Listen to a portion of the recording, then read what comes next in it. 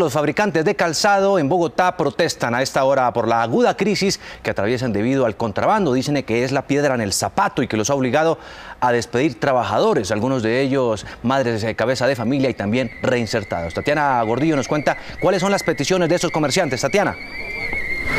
Juan Diego, pues mire, ya empezaron a llegar aquí decenas de comerciantes a protestar, también fabricantes de calzado y de ropa de aquí del, centro de Bogotá. Ellos dicen que son cientos de familias las que se están quedando literalmente sin comida debido al contrabando. Vamos a preguntarle rápidamente a uno de ellos, John, buenos días. ¿Cuál es la exigencia que ustedes están haciendo hoy acá? Buenos días, pues hoy queremos que el gobierno no siga siendo indiferente con nosotros, que nos atienda, que le ponga unos aranceles más fuertes a las prendas de vestir provenientes de Asia. ¿Cuántas familias estarían siendo afectadas? ¿Qué está pasando con los trabajadores, algunos que vivían en el Bronx? Familias muchísimas, tenemos un mercado y, y unas personas en Colombia, somos demasiados, hay más de 1.800.000 personas que viven del sector textil y afines.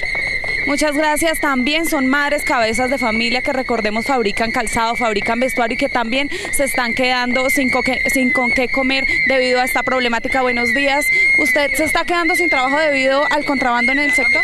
Sí, señora, claro, porque nosotros mismos nos encargamos de apoyar el mercado chino y, y por eso está afectando nuestra economía, nuestras familias y, y en general todos nuestros compañeros también. ¿Qué le piden hoy al gobierno usted? Eh, pues que se ponga la mano en el corazón y que considere que de nosotros todas las madres cabezas de hogar para que nosotros tengamos un mejor eh, mejoramiento en este país y, y que no, no, no permitamos ese, ese mercado para, para que así podamos surgir y podamos tener un sostenimiento a nuestras familias.